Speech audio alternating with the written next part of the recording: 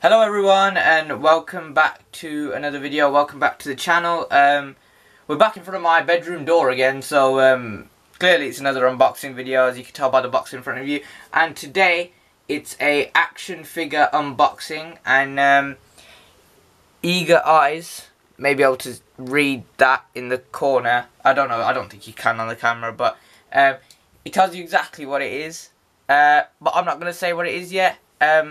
I'm just going to open the box and show you what I've got.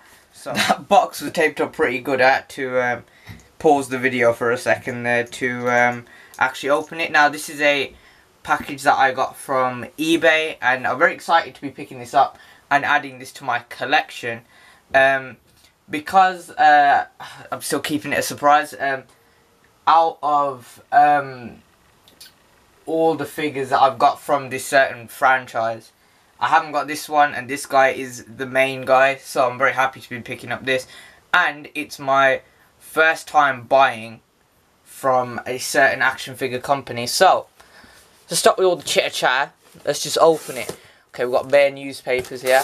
Just okay. Okay there's a lot of newspapers here and it's stuck in the middle of the newspaper. This is just the order confirmation so let me just take this out yeah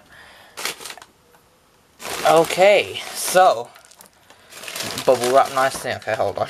Right, let me pack all that back up and move that out of the way.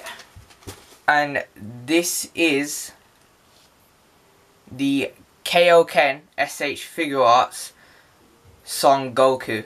I'm very happy to be getting this figure as um, I do um, not have a Goku in my collection and um, I'm very excited to be actually getting one. I've got out of all my Dragon Ball figures, I've got I've got Gogeta, I've got Vegeta, I've got Vegeta, I've got Piccolo, I've got Gohan, I've got Frieza, but I haven't yet had a Goku, which is surprising, because um, he's like the main character of Dragon Ball, obviously, has been for a long time, and um, yes, yeah, so I'm very excited to be picking this up and it's my first SH Figuarts I'm ever buying. It's one of the cheaper ones to be fair, I can't lie, I picked it up for around about £30, uh, 30 Great British Pounds, which should be probably about uh, 36 $37 in the US, but um, yeah, looks like a very cool figure and I can't wait to open it up and take a, a better look at it. Um, if you guys do want a review on it in the future, do let me know, and um, yeah, thank you for watching my unboxing video. If you did enjoy, don't forget to like, share with all the action figure community or your family and friends. Um, please don't forget to subscribe. We're trying to reach 100 subscribers, so that would really be a big help. And um, thank you so much for watching, and I'll catch you guys later. See ya.